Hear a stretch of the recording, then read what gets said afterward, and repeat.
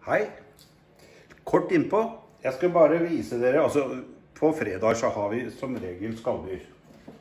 Dette er et skalldyr. Og det er ikke alle som, som tør å hive seg på en sånn åpning av det. For det første, denne her må dere ha. Hvis dere kjøper eh, et sånt brett ned hos eh, Berggren, da, så får dere en sånn kniv med.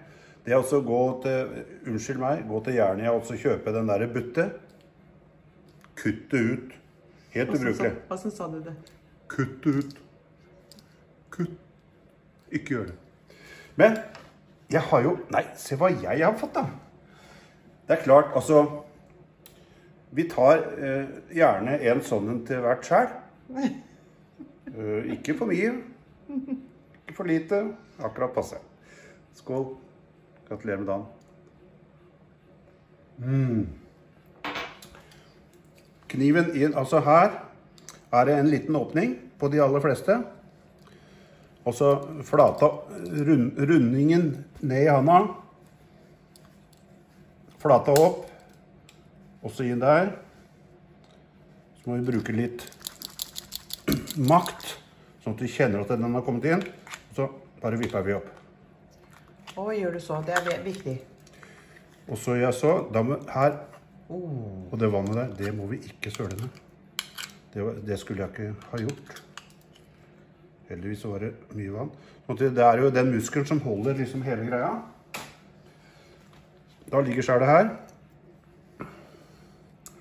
Så må vi kutte av sånn at det Det ligger løst. ligger løst. Sånn. Ikke noe bein. Dette her, det er eh, mat for eh, Mons. Så har jeg litt sånn salt og, og is her, sånn at de holder seg kalde. Ja, og sånn for oss da som ikke har håndlaget til Olsen, så er det da alternativ metode. Legg skjellet ned på benken, håndkle over. Det er fortsatt den der lille åpningen på, på den spisse siden.